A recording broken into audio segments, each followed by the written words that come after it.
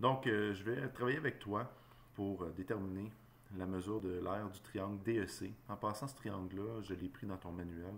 Ça se passe à la page 156 du manuel intersection.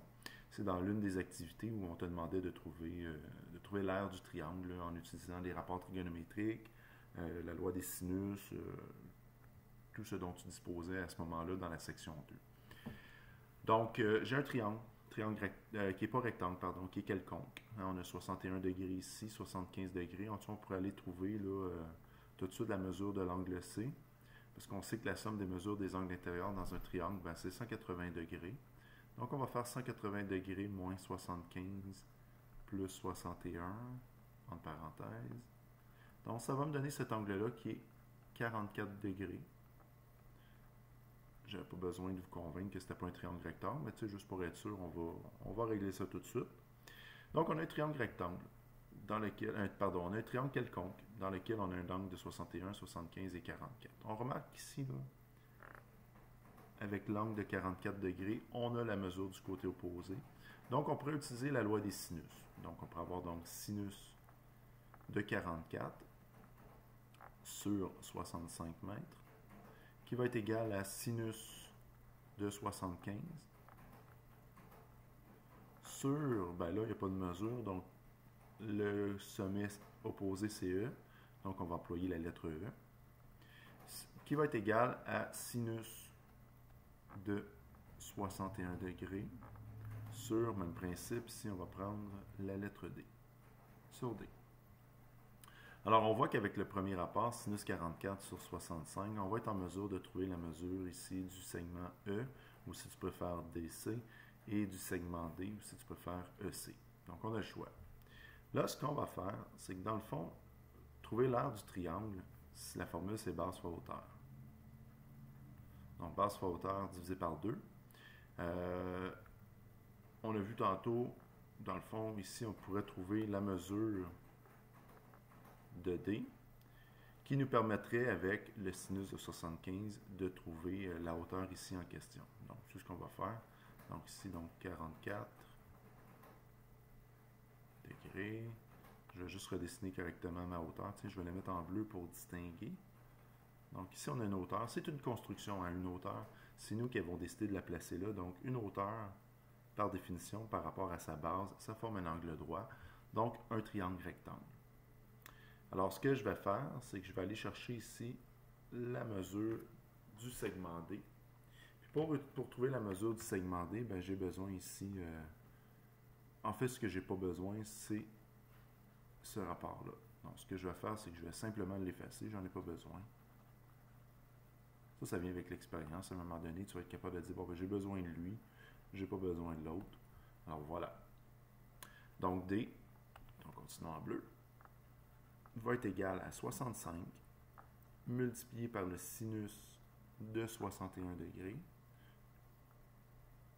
Tout ça divisé par le sinus de 44 degrés. Donc, je prends ma calculatrice, je vais faire en même temps que toi. Alors, 65 multiplié par le sinus de 61 degrés. Tout ça divisé par le sinus de 44 degrés. Assure-toi avant de faire tes calculs que ta calculatrice est bien placée en mode degré, DEG.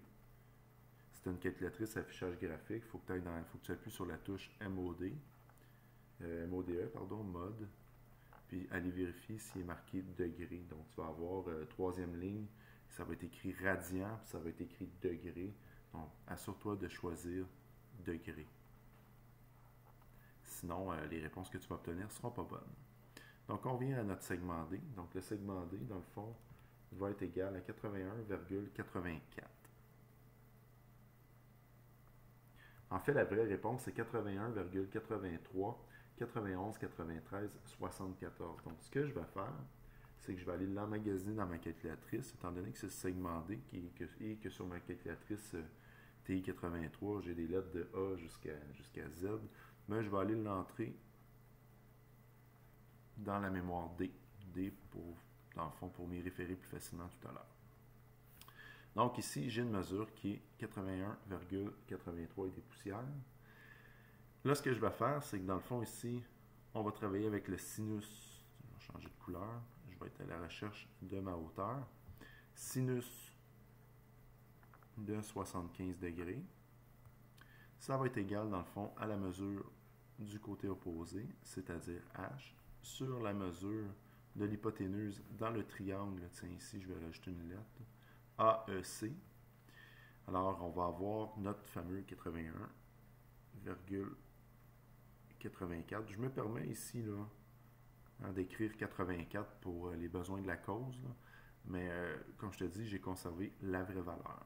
Donc, ça veut dire que ma fameuse hauteur va être égale à 81,84 multiplié par le sinus de 75 degrés. Donc la hauteur va donc être approximativement égale à... Dans le fond, ce que je fais, c'est que je poursuis mon calcul. J'ai toujours la valeur 81,83 dans la calculatrice. Donc je fais juste faire... Euh, attendez une petite minute. Je fais juste faire, euh, dans le fond, la réponse précédente. Donc multiplié par sin de 75. Donc, j'obtiens 79,05 comme hauteur relative au segment ED. Euh, e Donc, je fais juste une vérification pour être certain que mes calculs sont bons. Donc, sinus de 75, je ferme la parenthèse, c'est bien ça. Ça, je vais aller emmagasiner cette réponse-là dans la touche H. Donc, Store, STO dans alpha, je vais chercher h. Là, ce que j'ai besoin, dans le fond, c'est pour trouver l'air, c'est base fois hauteur divisé par 2. La base, c'est 65. La hauteur relative à cette base-là, c'est mon h de tout à l'heure, donc 79,05. Le tout divisé par 2. h multiplié par 65 divisé par 2, je vais obtenir, je vais obtenir 2600, 2500, pardon, 2569,14 pour du triangle. Faites attention, si je prends 65 multiplié par 79,05 divisé par 2, si vous obtenez 2569,13 dans le fond, c'est que vous aurez travaillé avec 79,05, donc la valeur arrondie dans le calcul. On voit, il n'y a pas une grosse différence ici. on joue de, de 1 centième, c'est pas dramatique. Mais si j'avais travaillé dans mon triangle, j'ai fait les calculs juste pour... Euh, pour m'amuser puis vérifier. Donc, j'ai refait les calculs en utilisant un autre hauteur, cette hauteur-ci. donc, en faisant les calculs par rapport à ça, on trouve ici la hauteur à 56,85. On trouve ici 90,38. Si je procède avec ces valeurs-là, je vais obtenir dans le fond